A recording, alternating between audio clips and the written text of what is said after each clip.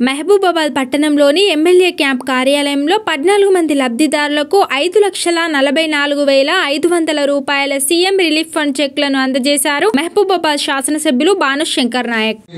మాటలు నమ్మకండి మసిపూసి మారకాయలు అమ్మే ప్రయత్నం చేస్తున్నారు. ఆ వాట్సాప్ అని ఫేస్బుక్ అని చెప్పేసి సోషల్ మీడియా అని చెప్పేసి ఉన్న పిల్లిని పులి చేస్తున్నారు పుల్లిని పిల్లి మాయ మాటలు చెప్తున్నారు మాయ మాటలు నమ్మకండి. పనులు ఎవరు చేస్తున్నారో వాళ్ళని నమ్మండి.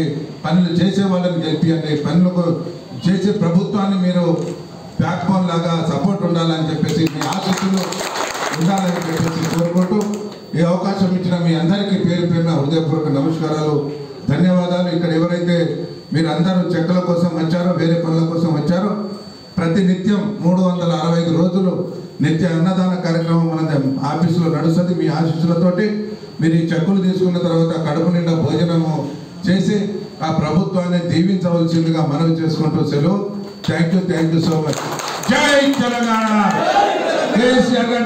చేతులు లేస్తలేవు. మరి మనం ఆంధ్ర నుంచి వచ్చినా చెప్పండి మరి. పిడికిలు బిగించి చెప్పాలి కదా. రోషం ఉండాలి మనం. తెలంగాణ బిడ్డలం. జై తెలంగాణ!